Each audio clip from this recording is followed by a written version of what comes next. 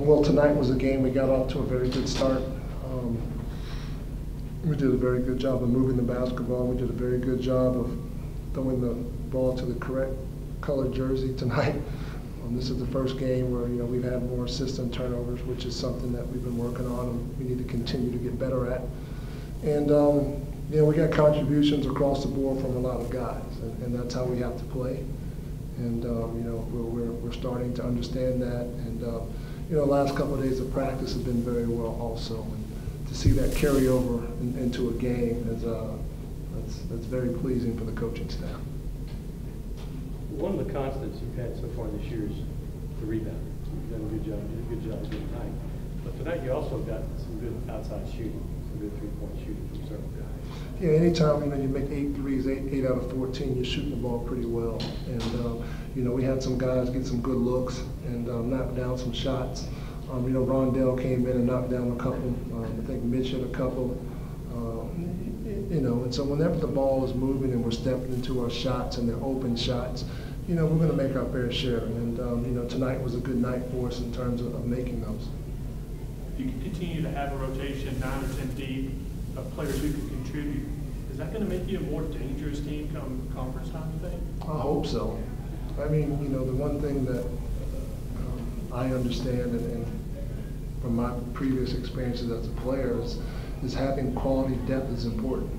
You know, people, you know, talk about conference play and things like that, but it's so early right now.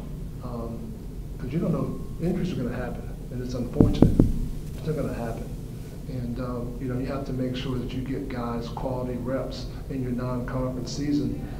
So when they get into the situation where you're in conference play and there's an injury or somebody's in foul trouble or there's some other um, distraction that has happened and, and your rotation changes, that guys are ready to go. Could, could you lock down though, somebody said, hey, you've got to lock down a nine, ten man rotation, could, could you do it right now?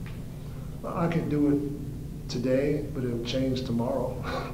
you know, and, and that's that's the way I coach, and that's just because of somebody who's in the rotation is not helping us be successful on that particular night, or they're not locked in defensively, or they're not playing with the effort and intensity that we expect. Somebody else is going to get a chance. Is this exactly the type of game you want to see out of Codi?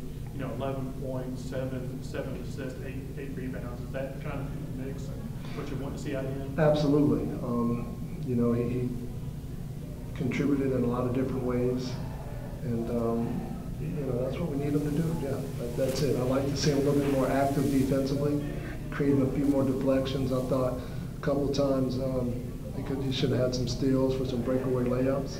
Um, we didn't quite get to that right defensive spot, but all in all, you know, he played a great four game tonight.